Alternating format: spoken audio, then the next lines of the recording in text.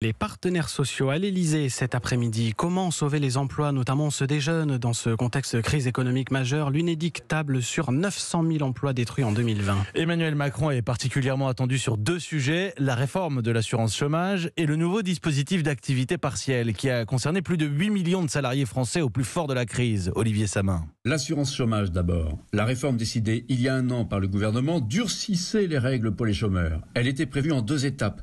La première a déjà eu lieu au mois de novembre. Elle fixe des conditions plus strictes pour être indemnisé en cas de perte d'emploi.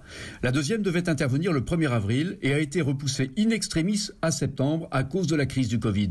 C'est cette deuxième étape que les syndicats contestent le plus. Elle durcit fortement le mode de calcul de l'allocation journalière des chômeurs.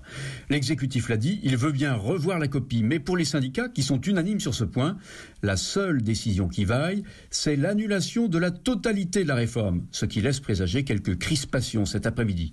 Des crispations, il y en aura sans doute moins sur l'autre gros sujet de la Réunion, l'activité partielle de longue durée. Le principe, on le connaît, c'est celui d'une aide de l'État aux entreprises qui font face à une baisse durable de leur activité, aide qui pourra être versée pendant deux ans en contrepartie d'engagements sur l'emploi, ces engagements devant être scellés par un accord au niveau de l'entreprise ou au niveau de la branche.